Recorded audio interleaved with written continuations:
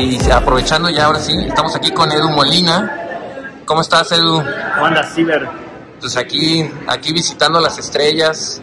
Este, ¿cómo, bueno, antes que nada, ¿qué, trajiste a presentar aquí en Multiversos? A ver, bueno, traigo, no, no te digo lo de siempre, pero lo ya he hecho que, es este, que son adaptaciones y libros de terror. Son nuevos, nuevos. Este, el Sombra, nueva edición del Sombra de, de pura pinche fortaleza, que son ah, acá está, libros que están acá, de los cuales, creyendo el último, está completamente inédito. El mate y que no falte. el mate, por supuesto. porque por si se me pierde el pasaporte, tengo que acreditar mi, mi Sí, sí, de Argentina. Muy bien. Y este, ¿cómo has visto el Sombra, la recepción de la gente? De... Bien, bien, muy bien, muy bien. Este, igual salió hace demasiado poco y no, no, no, no una valoración todavía.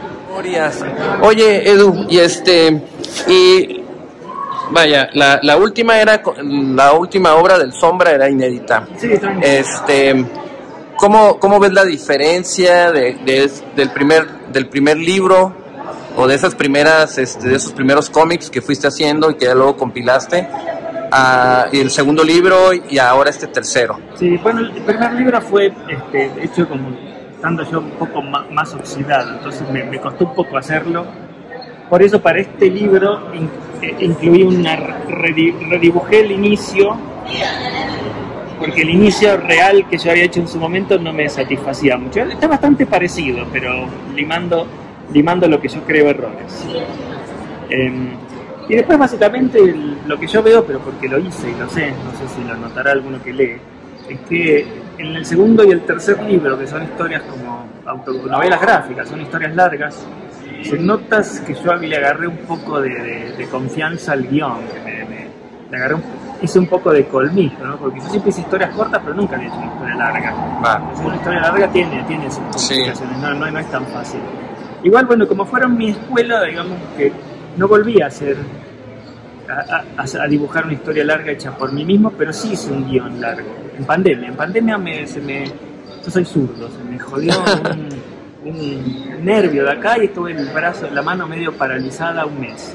Y de, la, de las ganas de hacer algo, hice un guion. Escribí un guion que no lo dibujé, quién sabe cuándo lo dibujé. Pero bueno, digamos que fue mi, mi escuela en el guion fue, fue el sombra. Y, bueno, yo noto que sí, hay, un, hay una más seguridad en lo que es contar una historia larga de un libro al otro. En el último libro creo que es donde más seguro me donde menos, menos errores le encuentro al libro. Fíjate que el, el, primer libro, digo, que yo, yo los adquirí en, el, en la campaña, precisamente de esta edición de, de La Fortaleza, este, el primer libro eh, pues establece el, el personaje, este, este detective con una con un, una brújula moral ahí media media descompuesta, ¿verdad? Este, y, pues tú vas conociendo un poquito de él, pero pero bueno, es, es como el, el cliché de, de, las historias noir, ¿no? Del detective que cayó de gracia, etcétera, ¿no? Pero, pero creo que es, algo, que, que, me gustó del primer libro es precisamente que te establece quién es, ¿no? Quién es el sombra. Pero ya después en, en el segundo libro y en este vas vas viendo vas vas vas viendo cómo va progresando el, el personaje. Ya para el tercer libro ya conoces bueno, quién es, pero también por qué es como, como es, ¿no? Este, qué fue, qué fue lo que ocurrió que este que hizo que, cayera en la, en la situación, que también es súper criticable, ¿no? Este, los motivos por los cuales, por los cuales este, eh, pues cae en, desgracia. Y, y, para el tercer libro ya, ya estás hasta empatizando con el personaje, este, ya quieres que le vaya bien, que a lo mejor tenga un giro su, su vida, ¿no?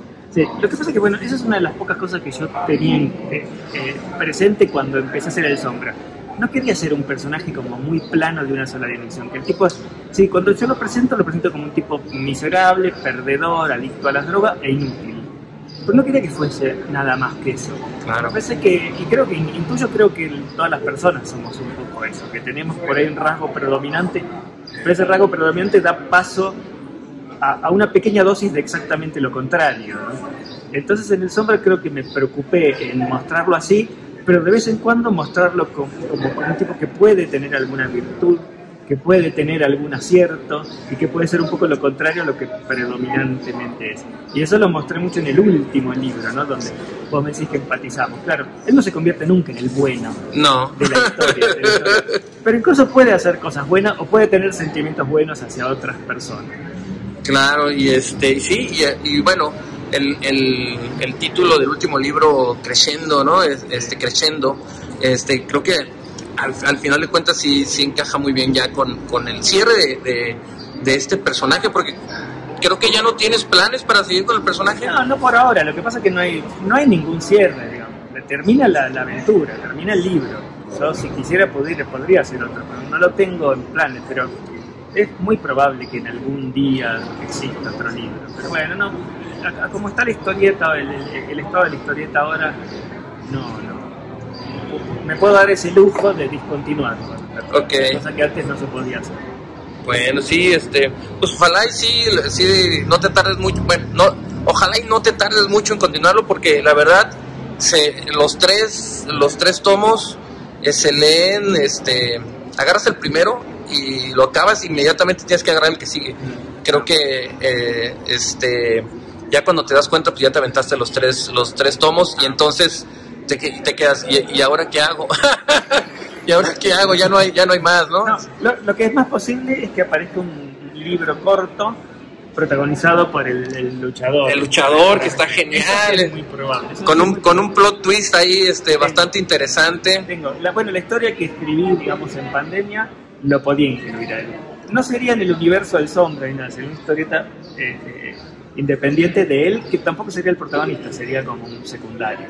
que, que está interesante el luchador este porque uno lo dentro de lo que cabe dice ah ahí está el personaje luchador no o sea que, que no puede faltar en muchos cómics y de pronto este toma toma un giro convierte en- inesperado y te quedas ¡oh! Se convierte en otra cosa. Sí, Sí, es- fue está, está genial. Entonces, sí, sí, este el personaje de.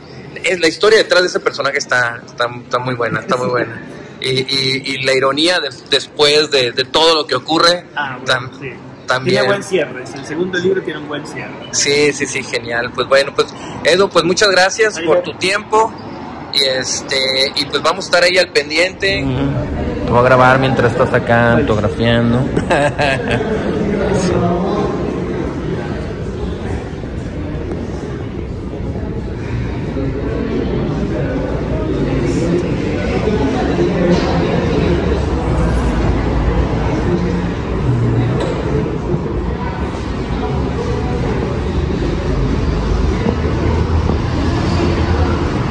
¿Cómo viste el evento? Sí, todo tranqui, qué sé yo. Creo que, claro, no, vos no estuviste, pero hace dos temporadas lo hicieron como en otro lado y me pareció que funcionaba mejor. Creo- como, el, era como el patio de un, de museo y quedaba a la calle prácticamente. Sí. La gente se metía. Aquí, aquí creo que el hecho de que no anuncien el evento afuera, este, sí le, le pega un poquito. Yo, le tenía fe porque el, nada más poquito. Sí, Pavel. Yo le tenía fe porque el centro español como que es muy conocido. Sí, Pero bueno, puede que no parezca. pero si no sabes que va a estar el evento o, o vienes específicamente aquí, Claro. no te, no te, no te enteras. Eso quiere decir que tenemos mucho poder de convocatoria. Pues el, el- el asunto es ese que me decía alguien, eh, ahorita no me acuerdo qué me decía, el humo, yo onda humo, Qué bueno que viniste, Luis Humberto. ¿eh? Es un gusto siempre recibirte y que vengas a, a- a cubrir eventos que, por supuesto, te gustan a ti. Saludos. Saludos, saludos. Sí, güey, el humo. Este, sí, me platicaba con alguien hace ratito y decía, no, pues lo estuvimos eh, anunciando con Loranca. Decía, este, lo estuvimos anunciando en redes.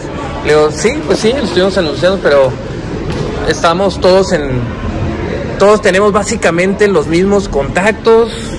Y entonces si yo, Una semana antes, como Sí. que es algo que tiene que hacerse, como ahora Comics, que ya ves que estamos haciendo conversatorios sí, con el Dilo, conmigo, como que es algo que no se acaba en todo el año y ya cuando por fin es el evento, El evento. ya es porque hubo muchos otros adelante. Sí, sí, sí. Entonces, Este, le digo, pues, sí. La mole que siempre, siempre está para estar ahí como... Sí, pero, pero, pero aparte es- este es un, un evento, ahora sí, de, de comiqueros, ¿no? O sea, entonces es lo que le decía, eh, es, es un evento de comiqueros y, y entonces pues los círculos son, son muy pequeños, ¿no?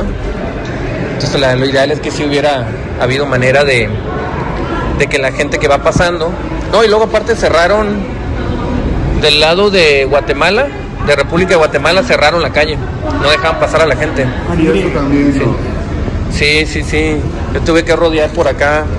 Eso también está cerrado. Sí, Eso también nos dio sí. un, un problemilla.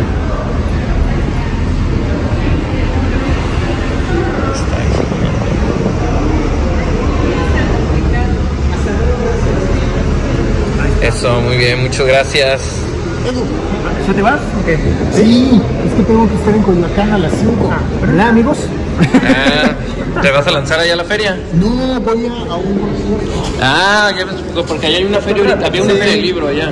Sí, pero voy a un concierto. Ya estás, ya estás, córrele, córrele. Vamos. Bien.